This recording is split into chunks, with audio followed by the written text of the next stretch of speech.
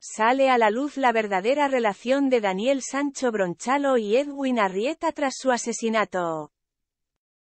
Soy culpable, pero yo era el rehén de Edwin. Me tenía como rehén. Era una jaula de cristal, pero era una jaula.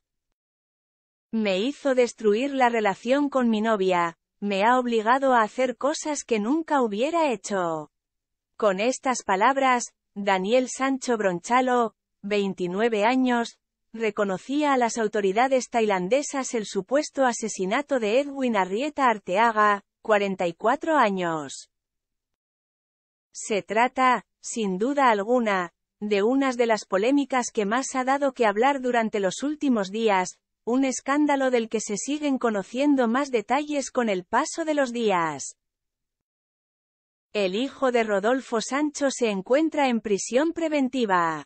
Pero, ¿qué tipo de relación tenía el chef con la víctima? Conocemos los datos más reveladores. Daniel Sancho reconoce que intimó con Edwin. En un primer momento, Daniel Sancho Bronchalo negó por activa y por pasiva que tuviera ningún tipo de relación con Edwin Arrieta Arteaga, y le acusó de estar obsesionado con él, él estaba obsesionado conmigo. Me engañó, me hizo creer que lo que quería era hacer negocios conmigo, meter dinero en la empresa de la que soy socio. Que hiciéramos cosas juntos, que fuéramos a México, Chile, Colombia, a abrir un restaurante. Pero era todo mentira. Lo único que quería era a mí, que fuera su novio, señalaba el nieto de Sancho Gracia. Días después, y tal y como recoge el medio de Bangkok Post, el joven cambió de versión y reconoció que sí mantuvieron relaciones íntimas.